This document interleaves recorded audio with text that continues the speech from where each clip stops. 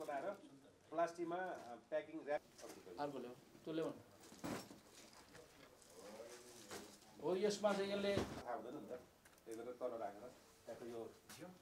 अब जनरली पहिला पहिला चाहिँ के हजुरको हजुर कति वर्ष के कैद हरेक त्यसमा त हजुर।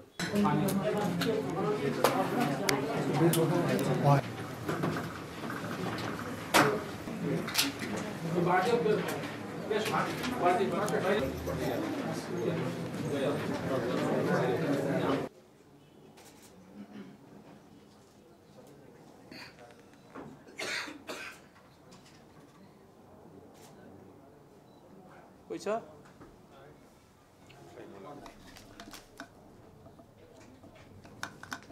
दुई हजार उना असी साल चैतको चौध गते हामीले दुईवटा अपरेसन गरेका थियौँ।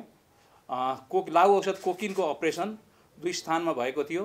त्यो दुई स्थानमा भएको अपरेसनमा हामीले सात किलो आठ सय सतासी ग्राम लागु औषध कोकिन सहित दुईजना भारतीय महिलालाई हामीले पक्राउ गर्न सफल भएका छौँ र पक्राउ परेका भारतीय महिलाहरूलाई लागु औषध नियन्त्रण ऐन दुई हजार तेत्तिस बमोजिम सम्मानित काठमाडौँ जिल्ला अदालतबाट लागु औषध मुद्दामा म्याद थप गरी कानुन उम्, कारबाही र अनुसन्धान भइरहेको बेहोरा पनि म अवगत गराउन चाहन्छु। अब यो पक्राउ परेको लागु औषध कोकिनको अवैध बजार मूल्य सत्र करोड तिन लाख एकाउन्न हजार दुई सय रुपियाँ रहेको हामीले अहिले यो मार्केटमा एक्काइस हजार छ सय प्रति ग्रामको हिसाबले राख्दाखेरि यति हुँदो रहेछ र यो यसमा सात किलो आठ सय सतासी किलोग्राम ग्राम भयो सात किलो आठ सय सतासी ग्राम। यो लागु कोकिन हामीले बरामद गरेका छौँ। यसमा पहिलो पहिलो सम्बन्धमा दुईवटा अपरेसनमध्ये पहिलो अपरेसन सम्बन्धमा म प्रकाश पार्न गइरहेको छु। यसमा चाहिँ त्रिभुवन अन्तर्राष्ट्रिय विमानस्थल सुरक्षा कार्यालय का प्रहरी टोली र हाम्रो लागु औषध नियन्त्रण बोली नियन्त्रण ब्युरो कोटेश्वर टोली चाहिँ त्रिभुवन अन्तर्राष्ट्रिय विमानस्थलमा पनि यहाँ एउटा ड्युटीमा खटिएको अवस्था छ।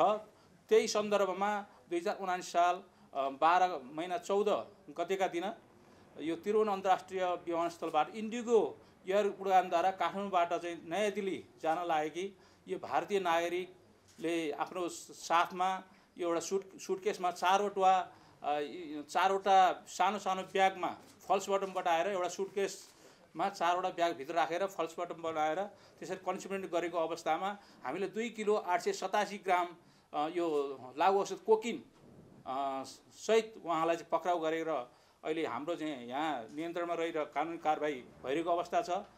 त्यो सम्बन्धमा कसरी यो चाहिँ कहाँबाट कसरी यो आएको रहेछ भन्ने सम्बन्धमा म प्रकाश पार्न गइरहेको छु।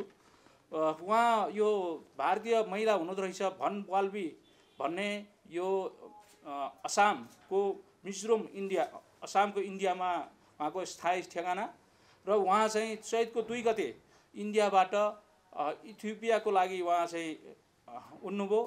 त्यस पश्चात उहाँ चाहिँ उहाँको डेस्टिनेसन थियो गिनी यो गिनी यो र त्यहाँ गएर उहाँ चाहिँ आठ नौ दिन उहाँ बस्नुभएको छ।